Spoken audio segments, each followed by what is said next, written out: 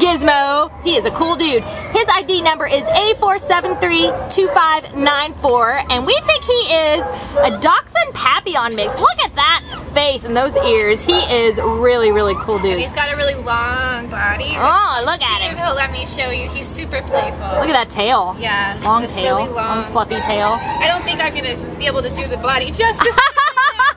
He just wants to play. Yes, he's about six months old, so he's got lots of fun, playful puppy energy. he actually came in as an owner surrender on July 11th. They didn't give any reason. We can't imagine why they'd bring this awesome gizmo back, because he is just pure puppy perfection.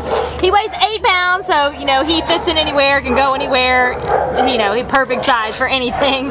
And he's just super affectionate. He gives kisses. He loves hugs. And as you can see, he's very, you know, playful and has a good puppy energy. He loves to sit in your lap, but then he can also see something and want to go run off and play with it too, as a puppy does. you know, as a puppy, he's gonna go. need some puppy training. He does. But you But know, he's okay on a leash. So Okay. He just needs. Oh, he's got a little sneezing going on. he got himself too excited. Too excited.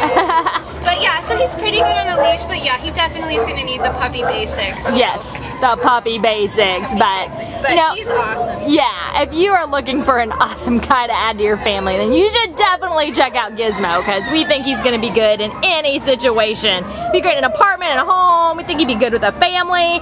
Just, you know, chase some kids around, run around in the house with them. He's awesome. So come on down and meet the amazing Gizmo today at the Baldwin Park Shelter. You got to see this guy in person. He is cool.